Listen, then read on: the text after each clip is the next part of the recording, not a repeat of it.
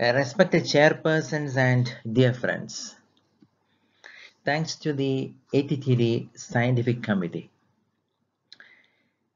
Apart from this being a study, this is more of an experience sharing using a new device from India, the Freestyle Libre Pro. These are my disclosures. Among the two variants of Libre, the one with the white reader, the Libre Pro, is the version which has been launched in India in contrast to the one with black reader, which is currently available here in Europe, which is probably the true, real, that is a flash glucose monitoring. This is the background of this study. In the last three to four years, the overall measurement errors with the CGM had profoundly improved.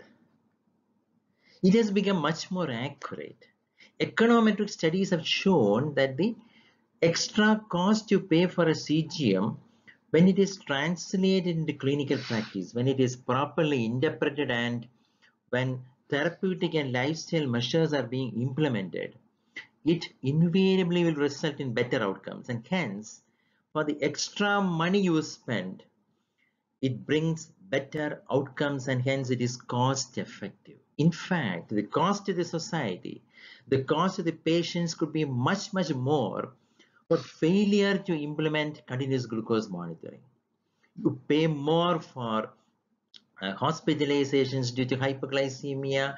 You pay more for the costly complications, the hospitalizations and the treatment for the costly vascular complications of diabetes.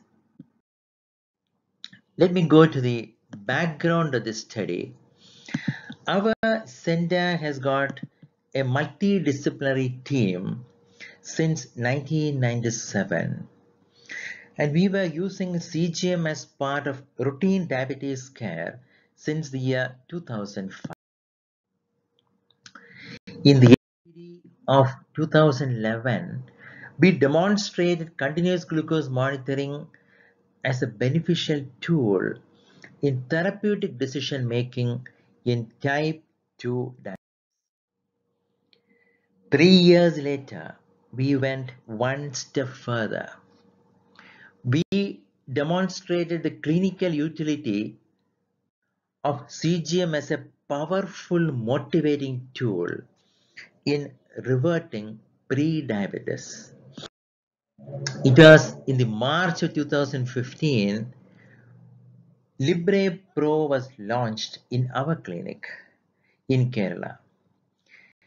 We did a study simultaneously performing CGM with the time-tested iPro 2 and with Libre Pro in various types of diabetes. In the upper panel is the graph from Medtronic MiniMed iPro 2 and in the lower panel from the Abbott Libre Pro, both with a documented MARD mean absolute related difference of close to 11 percentage, clinically fairly accurate.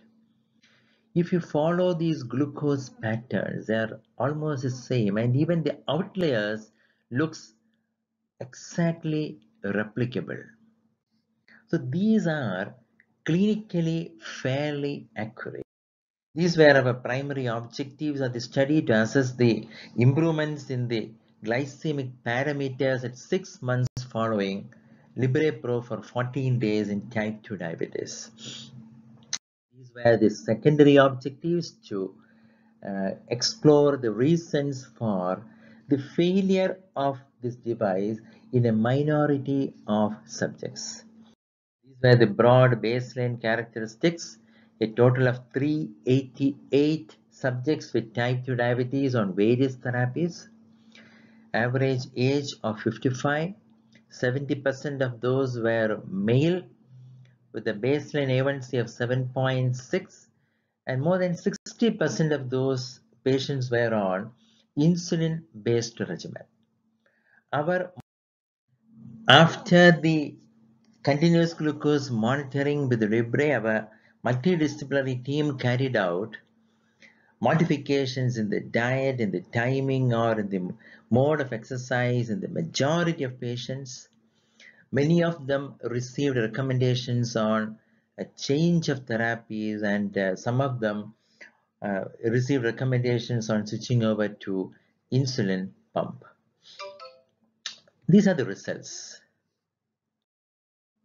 A mean wear time of 12 days and absolutely no episodes of hypoglycemia, probably because of the confidence which was generated from the ambulatory glucose profile, which enabled the team to uptitrate the dosages of drugs to reach better glycemic levels and that too without that potential hypo.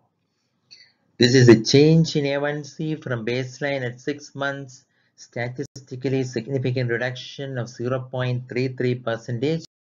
This is the fall in fasting blood glucose. Again, the p-value is significant at less than 0.0001. And this is the fall in the body mass index.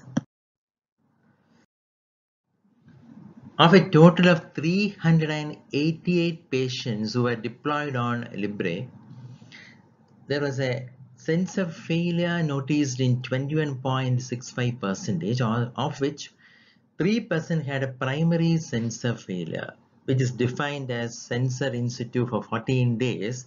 But when you download it, there is no recording at all. Among the 388 subjects, 66% uh, of them responded to our perception uh, questionnaire and majority agreed on the cost effectiveness of the procedure, uh, willingness to repeat the, uh, they appreciated the total absence of glucometers and finger pricks for calibration and they also agreed on uh, the discrete and user friendliness of the device. The sensor falling off rates were extremely less. Uh, however, we dived into the uh, specific reasons for the device failure. Uh, hitting on the doors or accidental wiping off uh, after taking a bath or during an oil massage. But if you look at those numbers of the first 100 patients versus the second and so on, uh, when we move on, we were gaining more experience. We were gaining more experience on uh, selecting the appropriate site for the sensor insertion. We were gaining more experience on providing the appropriate instructions to the patients. And thanks to those experiences, the failure rates were coming down. There were no serious allergic reactions except in one patient, one patient, extremely rare, but it was a severe allergy and we were forced to remove the sensor on the third day. An example, the prototype of a patient uh, at baseline and uh, on glargine metformin gliptin combination with profound post-meal glucose excursions despite a near normal HbA1c and this is six months after shifting to uh, a co-formulation of degludec and aspart twice daily, there is a profound improvement in the glucose variability in the overall glycemic burden and in the glucose stability. The AGP looks flatter and in conclusion, FSLP, the Freestyle Libre Pro resulted in better overall outcomes. However, it comes at a price. It comes at a price of additional and extra uh, efforts and time. I repeat, additional and extra time from the healthcare professionals and efforts from the patients. And this, I believe, is the major limitation using any technology in diabetes for better outcomes. Patients who underwent Libre-Pro sensing in type 2 diabetes reached acceptable glycemic goals and that too eliminating the risk of severe hypoglycemia. Thanks for listening.